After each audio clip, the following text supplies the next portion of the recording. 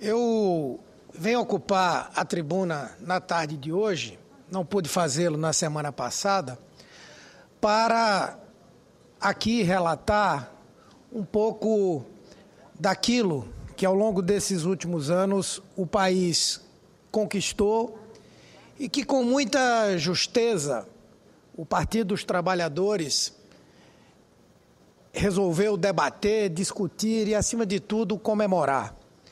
Na semana passada tivemos a abertura de um grande seminário nacional que o PT, juntamente com o Instituto Lula e a Fundação Perseu Abramo, estão realizando para não somente avaliar os 12, os 10 anos de governo do PT e das forças que elegeram o presidente Lula, que o reelegeram e elegeram a presidenta Dilma, e mais de pensar o futuro também. O principal objetivo é esse.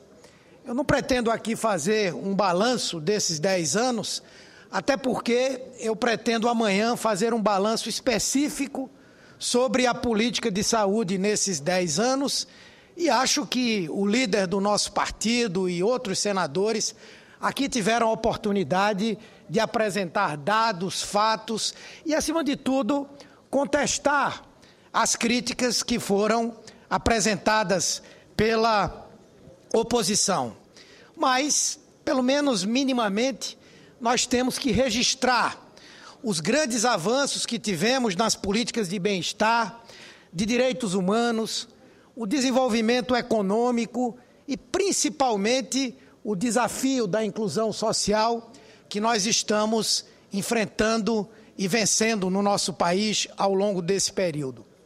E não adianta o surgimento dos discursos de desconstrução a quererem mostrar ao povo brasileiro um país que não mais existe, porque a população, os trabalhadores, o povo as mulheres, todos os segmentos, os empresários, sabem que mudou e mudou de maneira bastante profunda. Esses discursos não conseguem dialogar com a realidade e, por essa razão, não conseguem surtir os efeitos que desejavam. Aqui vimos na semana passada o PSDB, por intermédio do senador Aécio Neves e outros senadores fazerem retumbantes críticas aos 10 anos do nosso governo, em particular ao governo da presidenta Dilma. No entanto, foi nesse período onde nós tivemos, e aqui eu quero só me apegar àqueles indicadores que falam de redução de desigualdade, de eliminação da pobreza, tivemos que foi a população de baixa renda mais beneficiada nessa última década. A renda dos 20% mais pobres cresceu 5,1% ao ano, um ritmo sete vezes maior do que nós tínhamos antes do nosso governo. O Brasil conseguiu reduzir a, a pobreza extrema. E aquela população com renda domiciliar per capita de até um dólar e 25 centavos por dia recuou de 14% para 4,2%, fazendo com que atingíssemos os objetivos do desenvolvimento do milênio antes daquilo com que havíamos nos comprometido. O salário mínimo real cresceu 70,7% ao longo desses oito anos. E tivemos uma queda na desigualdade de renda que foi de 11,4% e da pobreza absoluta de mais de 37%. Só nos dois anos, os dois primeiros anos do governo Dilma, nós conseguimos tirar da pobreza extrema, da miséria, mais de 22 milhões de brasileiros. E não foi apenas isso, não foram apenas os programas sociais, os programas de transferência de renda que atuaram para reduzir essa desigualdade foi também a política econômica do governo. Criamos em 10 anos quase 20 milhões de empregos com carteira assinada. E isso tem um poder muito maior do que a simples transferência de renda para reduzir as iniquidades, para promover menos injustiça, para promover mais justiça social no nosso país. Portanto, nós temos o que comemorar, inclusive no momento em que o mundo passa por uma crise tão grave, muitos países com crescimento negativo nas suas economias, e o Brasil, embora tendo crescido pouco, cresceu. E o mais importante, preservou os empregos e hoje nós temos a menor taxa de desemprego dos últimos anos, que chegou a 5,4% em janeiro de 2013. Portanto, são muitos e muitos dados que apontam para uma mudança profunda da nossa realidade. É óbvio que nós não vamos ficar olhando para trás. Se hoje o PT, se hoje o governo estabelece comparações, não é porque nós estejamos vinculados ao passado ou olhando pelo retrovisor, não. É para constatar que a mudança aconteceu, que a realidade mudou, mas que nós temos que pensar o para frente. Até porque, quando uma necessidade básica é atendida, uma outra necessidade surge. Aqueles que estavam na miséria até pouco tempo, agora querem melhores serviços públicos, a perspectiva de ingressarem numa universidade, de ter empregos melhor remunerados, e aqueles que ainda estão nessa situação sabem que dela vão sair e por isso querem mais do que aquilo que foi colocado até agora. E nós temos a plena consciência dessa necessidade. É por isso que nesses seminários nós estamos trabalhando uma proposta para o Brasil a partir de agora, que signifique aquilo que disse a presidenta Dilma: o fim da miséria é apenas o começo de uma nova era.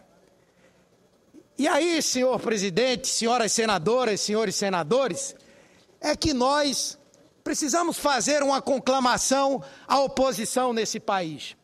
Infelizmente, no Brasil, e tanto o discurso do senador, a semana passada nessa tribuna, tão festejado pela mídia, e ontem as declarações do ex-presidente Fernando Henrique Cardoso mostram que essas manifestações apenas tratam de uma tentativa de desconstrução.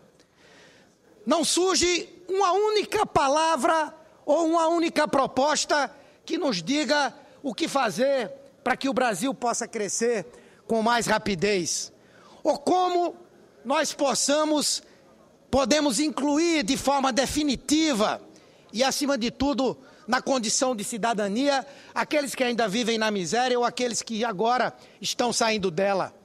Não há uma proposta que fale de educação, que fale de saúde, que fale de política externa, que fale de inclusão social. Aliás, o senador Lindenberg aqui foi muito feliz quando constatou que, por mais de 20 minutos, falou o senador do PSDB e não pronunciou a palavra povo, a palavra miséria, a palavra trabalhador, o que demonstra que a cabeça da oposição ainda está lá atrás, como se o Brasil fosse o Brasil da década de 80 ou do começo dos anos 90. Então, o que nós vemos hoje é a cultura do pessimismo. Ao invés de propostas, nós temos o desejo de que as coisas não deem certo. Veja, veja bem, senhor presidente. presidente. Por exemplo, presidente, no ano passado. Presidente. Quais foram. Sem, presidente, sem querer cortar a palavra do orador que está na tribuna, Vossa Excelência esqueceu de marcar o tempo. Pois não, senhor presidente. O meu relógio mental aqui fala que eu devo ter usado em cinco minutos. Não fale um minuto, não. Mas, presidente, olhando, olhando a, a, a, o posicionamento da oposição, quais foram os principais centros do debate que ela trouxe no ano passado? Ameaça de apagão. O apagão não aconteceu. Ameaça de desintegração do Nordeste a partir do fenômeno climático da seca, mas as ações que o governo desenvolveu, embora ainda tenhamos muito o que fazer, fez com que isso, esse argumento também não, não prosperasse. A crítica ao desenvolvimento da economia, E agora, iniciado o ano de 2013, essas manifestações de pessimismo, esses desejos de que aconteça o quanto pior para que seja melhor para a oposição, começam claramente a não se concretizarem. Basta que nós possamos ver a economia já nesse mês retomando a sua atividade, a inflação dando demonstrações de que não vai repetir o seu desempenho de 2012, de que vai cair, a arrecadação de impostos crescendo, a dívida imobiliária do país caindo e, portanto, toda uma situação que vai, mais uma vez, negar os desejos e essa defesa do pessimismo como forma de enfrentar a realidade. Eu vou concluir, senhor presidente, a não ser que alguns dos senadores. Vossa Excelência pudesse me dar uma parte. Vossa Excelência, naturalmente. Vossa permite. Excelência pudesse dar uma parte, eu agradeceria, senador Mário Couto. Com autorização do presidente. Ele está usando o tempo de quê, presidente? Inscrito. Inscrito. Inscrito. Inscrito, ele pode dar parte. Claro, claro. É, é Se ele como, quiser como dar ele parte. Como ele, como ele, ele o tempo está esgotado, eu acrescentei mais três minutos para que os senhores Pronto. possam Pronto. usar uma parte solicitada. Por favor, senhor presidente. Me dê mais três para contestá-lo. Não, Vossa Excelência fica despreocupado. A tribuna ah. é livre. Logo que Vossa Excelência descer, eu posso subir. Posso lhe conceder a parte também.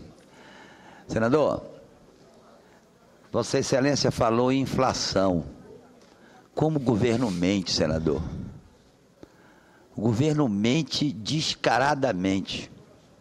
Entre, senador, só sabe, há dois meses atrás, ou três meses atrás, o quilo da farinha no meu estado era R$ 2,50.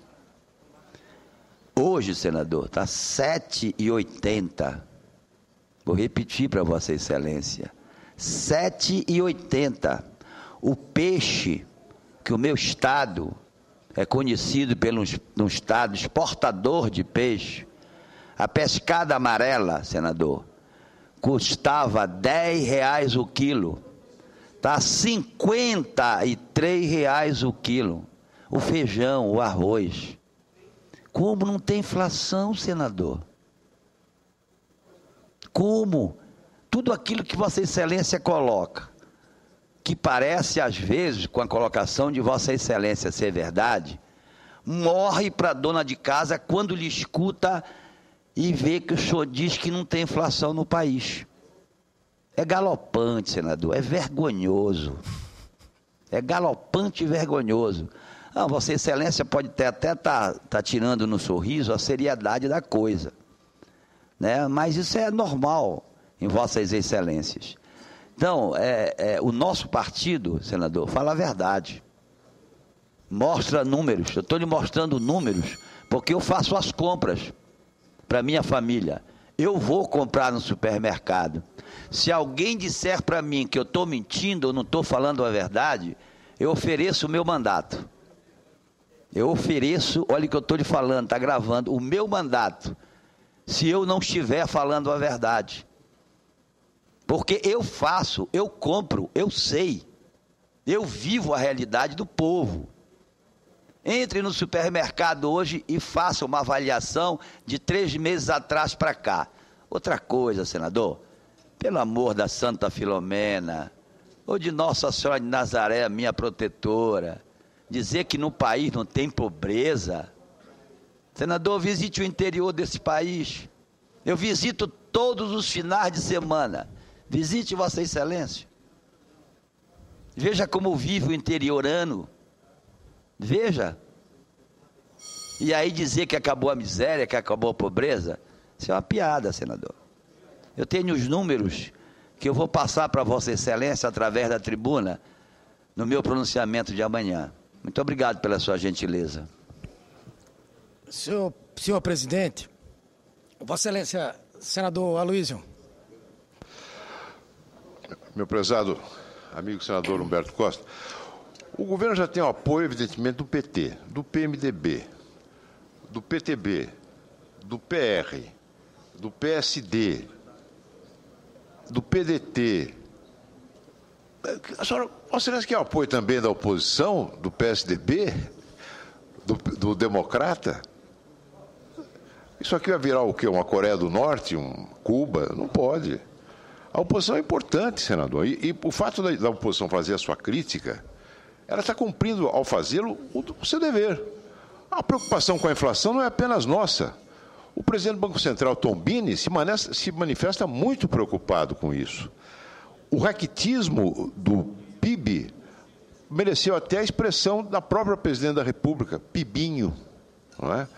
É, do Nordeste, Vossa Excelência é um ilustre representante do Nordeste, sabe que é um castigo, é um flagelo que volta. Assim como voltou agora a dengue, o crack que se dissemina pelas cidades, as santas casas com essas portas que ameaçadas de fechar as portas, são problemas que se a oposição não, não, não põe em evidência para reclamar medidas do governo, para chamar a atenção do governo, para criticar, para cobrar suas promessas, quem o fará? Quem o fará? Não, é? não confunda isso com pessimismo ou com falta de patriotismo, e nem, nem queira, a partir da oposição, da manifestação da oposição, dizer: olha, somos nós contra eles, é o povo contra eles. Não é nada disso.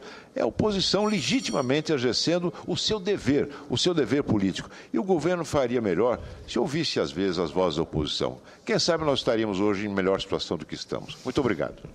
Senhor presidente, senhoras senadoras, senhores senadores, com todo o respeito. Posso conceder a parte ao senador Wellington Dias? Pois não, senador. Meu querido senador Humberto, só para registrar que eh, eu acho que ninguém pode negar. Claramente, o Brasil está, como se diz, superando a miséria e a pobreza.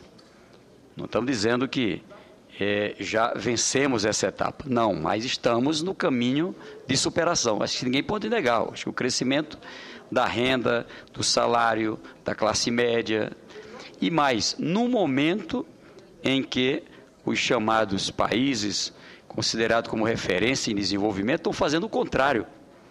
Num ambiente mundial em que ocorre nos outros países o contrário. Então, é por isso que queria aqui parabenizar Vossa Excelência pela forma como trata do tema, é? sabendo aqui apenas para clarear, mas todo mundo conhece, é, a inflação é uma composição de um conjunto grande de itens, tem as situações sazonais sempre, às vezes sobre a carne, às vezes sobre o tomate, às vezes sobre um outro item. É o mesmo critério que sempre se usou, que se adota em vários países do mundo, numa instituição séria, IBGE, o próprio setor privado, vários que fazem cálculo, que apontam essa situação da inflação. Era isso. Muito obrigado. Eu agradeço a parte de Vossa Excelência, a parte dos dois senadores que antecederam a Vossa Excelência, e vou concluir aqui o meu discurso dizendo que quem acompanhou aqui a minha fala desde o início, ou quem se der ao trabalho de ler as notas taquigráficas, em nenhum momento eu falei que a inflação acabou, que a miséria acabou.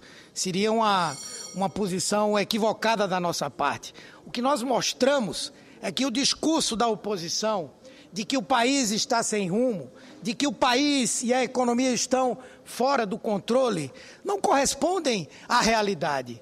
E todas as previsões catastróficas que têm sido feitas pela oposição até agora, elas não têm conseguido se concretizar como verdade.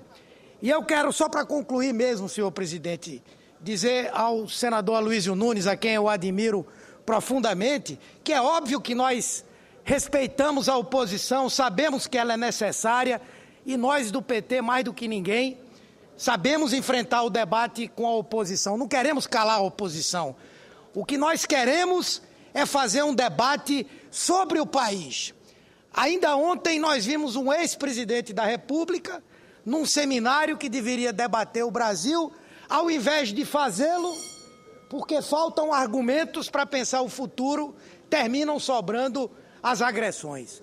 O que nós estamos fazendo aqui na tribuna de hoje, daqui hoje, é um convite à oposição para fazer um debate sério, centrado no que o país precisa, para que nós possamos fazer com que o Brasil de fato ocupe aquele espaço que lhe cabe e que com muita honra o nosso governo vem trilhando os caminhos para que, de fato, ele possa ocupar. Muito obrigado, senhor presidente, obrigado, senhoras senadoras, senhores senadores.